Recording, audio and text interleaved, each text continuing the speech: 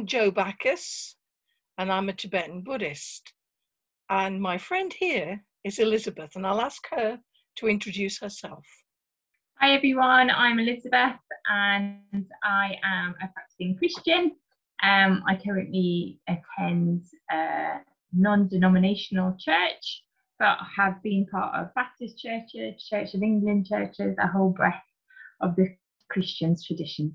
My uh, place of uh, worship and my connection is with uh, Jamyang Buddhist Centre in London. What things do we both value about our friendship?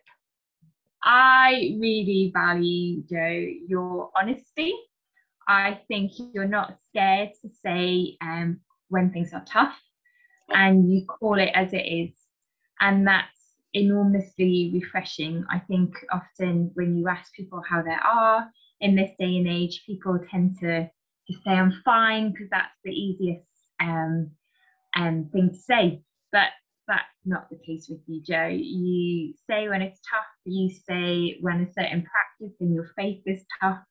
Um, but equally, you're willing to call out the blessings in life as well and to name them for what they are. And that's really refreshing, I think, in this day and age. Oh, that's really kind. Thank you for that. Um, I think it's difficult to to pull out one thing um, that I value about our friendship because there's been so many things as I try to reflect on on that matter. Um, I certainly would say the same of your good self.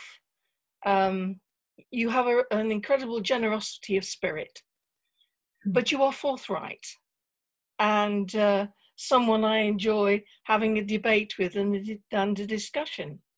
But I also think, and it's maybe sounding a little strange, um, the what it's the way you've helped me think through in our conversations some of those important ideas of my own faith and what I brought as an answer to the questions that you and the group set yeah. uh, for ourselves to work out.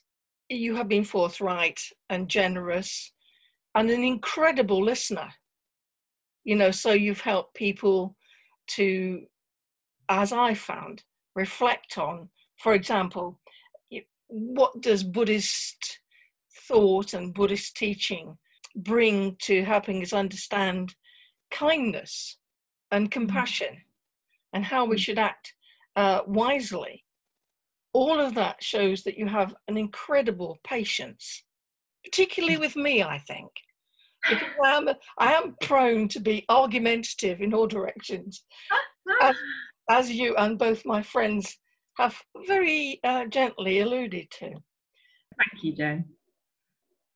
We are also different, and I think um, we learn the differences that we have, um, but yet there's that grace for one another and that kindness for one another. That I think is just a, a beautiful example of harmony.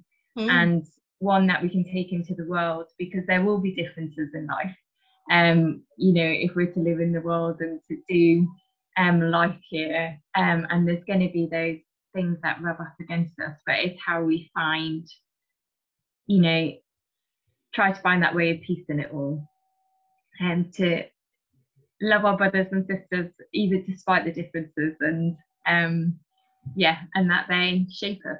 Oh, thank you, thank you. You're more than welcome. Bye bye for now. Thank you. Bye bye.